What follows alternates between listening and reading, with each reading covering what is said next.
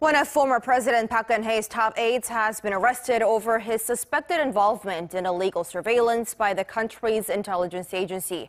The Seoul Central District Court approved an arrest warrant early Friday morning for Woo Byung-woo, the former presidential secretary for civil affairs. He is accused of ordering the National Intelligence Service to keep tabs on civilians and prominent opposition figures under the previous Park Geun-hye administration. Now his arrest comes on the third attempt by by prosecutors to secure a warrant after their two previous efforts were rejected in February and April.